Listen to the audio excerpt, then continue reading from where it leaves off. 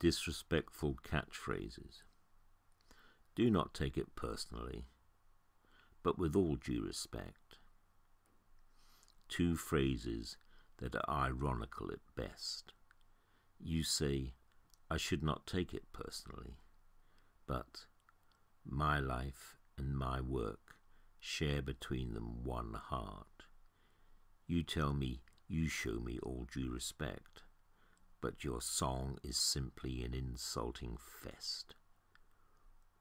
What you do and what you say happens to me, not some other.